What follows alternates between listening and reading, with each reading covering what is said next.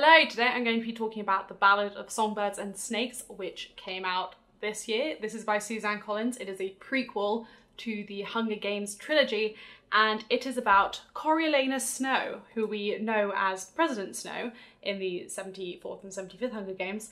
Um, this is back in the 10th Hunger Games um, when Coriolanus is a, I guess, a senior um, at school. The Snows are a very kind of aristocratic uh, family of the Capitol, but they lost all of their money in the war because they had it invested in District 13. So they um they're still very like high class but have no money. So they just have to kind of like get by and pretend that they have money when they when they sometimes even have like enough money for food. Coriolanus lives with his older cousin and his grandmother, and everything's kind of riding on him being successful. He needs to get a scholarship into the university because otherwise he won't be able to go to the university so that he can get a good job and provide for his family, whatever. For the first time ever, tributes in the Hunger Games will have mentors and they are going to be taken from the upperclassmen of the school. So Coriolanus is chosen as a mentor, but because of, I don't know, like dynamics in the Capitol, he's given the girl from District 12, which is like a bit of a slap in the face. Um, and he kind of needs her to do well in the Hunger Games for him to get this scholarship, blah, blah, blah. Everything's riding on everything. But in the Reaping, um, a really weird thing happens where like the, the girl from District 12 um, like gets up on stage and starts like singing and doing a big performance and it's all quite strange but he's like oh maybe I could work with this maybe we could we you know survive the Hunger Games um, so her name is Lucy Gray Baird and yeah things kind of go on from there as like a massive Hunger Games fan back in the day um, really loved the insight into the world um, of the Capitol, you know, 64 years before um, before we meet it in the Hunger Games. But basically, the more I thought about this book after I finished it, I listened to it as an audiobook, um, the more issues I have with it and the less, it, it was kind of like enjoyable as it was happening, but I do have a lot of criticism for it. The first thing I've got to mention is like the egregious amount of name drops um, from the Hunger Games trilogy.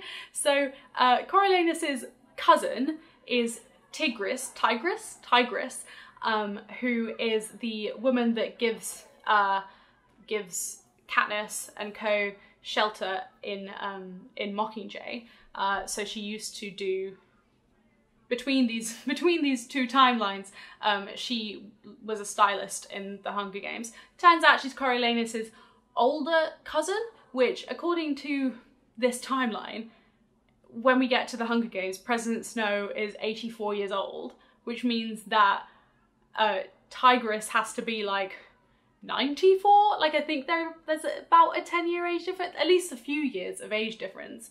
And I mean that's not believable um but sure. There's also uh like I remember there being a party at the Crane's house that was mentioned. Um Heavensbee Hall is like the big hall in the in the school. Heavensbee, like Plutarch.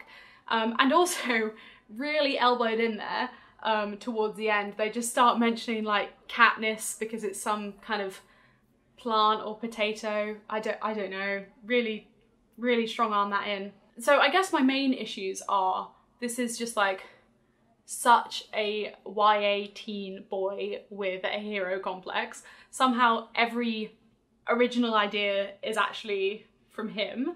Um, like he's the person that introduces uh, betting in the games and the idea that you can um, you can send tributes food. Like no matter what he does, trouble he gets himself into, he's just like miraculously comes out completely unscathed. And there's also this just that he gets really possessive.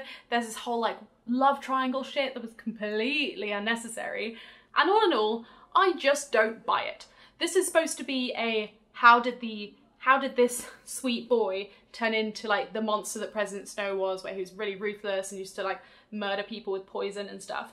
Um, and the I think the you're supposed to see him become more corrupt um, throughout uh, uh, this book um, so that you can kind of like understand what he goes on to. But I think he was far too sympathetic at the start. And to be honest, I don't think he ever really got very cruel. Throughout the book, he's sort of groomed by the head games maker. He has to write essays on like power and and the purpose of war and that kind of thing, um, which is supposed to like turn some cogs in into his in his head. So he eventually comes out with, if the war is going to last forever, we may as well be on top the whole time.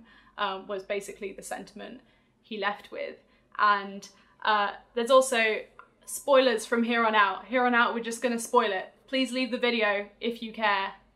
Goodbye. He goes from like, I want to run away with this girl, we're so madly in love, I can live uh, in the in the forest, like outside of the, the context of all of my like family and friends, to five seconds later being like, oh, there's a chance for me to get get my life back and get my life back on track and, and go back to the Capitol and you know be important. Uh, i just have to like murder this person who like five seconds ago i said like i loved enough to run away with? What the fuck? It was such a huge shift for me and I don't buy it. I feel like it would be more realistic if he ended up in the book not actually being that much of a bad guy, and then you just had to accept that you had to see the seeds of his corruption um, over the next seven, 65 years. Um, but but I think they were just trying to switch it. I keep saying they as if it's not just like an individual writing this because clearly the publisher was like, "How you, you write another another book, another one of those books. Um, but yeah, as um, is common with uh, highly anticipated sequels and prequels, um, I don't think there's a lot of editing process, which meant this book was just very, it's very strange in pace. Um, I know a lot of people found it quite boring um, because it should have just been a lot shorter because I was listening to it as an audiobook that wasn't as much of an issue. But it was just really weird that it kind of had this whole climax about two thirds of the way through, and then suddenly there's more story, but it's like completely different story with completely different characters, and it's like, why am I supposed to care about it? It did like have some nice connections and reasons for doing things, but that is kind of like the minimum I would expect for this sort of book. So that's where I'm at. I didn't like the characters. I don't like Lucy Gray at all. I don't understand her. Where does she come from? Like, I mean, I know where she came from. She was like some sort of like traveling musical troupe, um, which just didn't work for me in the context of like districts. But also she just like does some performing when she gets sent to the Hunger Games. Like there's none there's none of the like raw emotion of like Katniss's reaping and there's no sadness in the districts for this loss of life. There there really wasn't a lot of even even like the kids. So they were treated basically as cattle um, in, in, that time. They, they weren't fed. It wasn't something that the public watched because it wasn't something the public had to watch.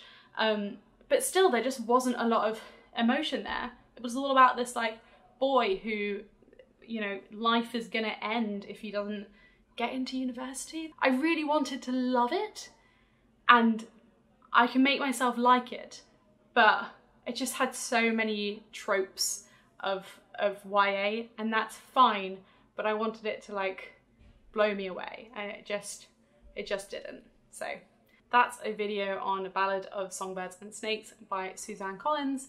Um, let me know your thoughts about it. If you read it down in the comments below. I look forward to reading them and responding. And i will see you with another book review soon